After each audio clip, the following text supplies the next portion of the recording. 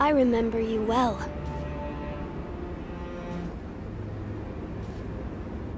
I heard stories of your death, yet here you are. What are you plotting, Owl? Plotting? I would do no such thing.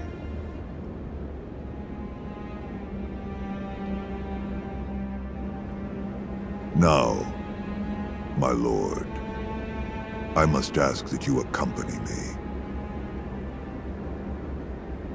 This old bird has but one desire.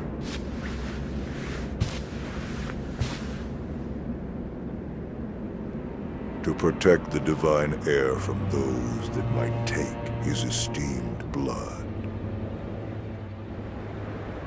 So, the dragon's heritage has seduced you too. Then there is nothing to discuss. Take your leave.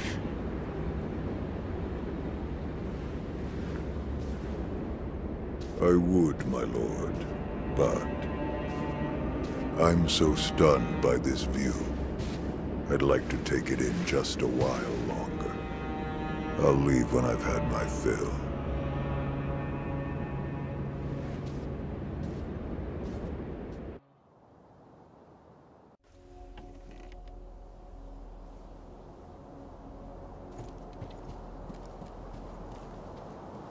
Father, to think you were still alive.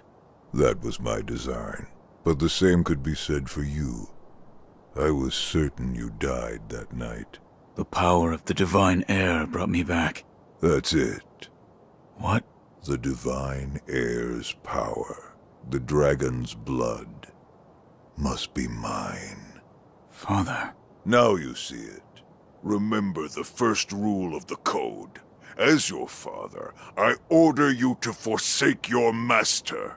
From this moment, he is your master no more. Forsake the divine heir. Listen to me, Wolf. Obey your father's command, and forsake the divine heir.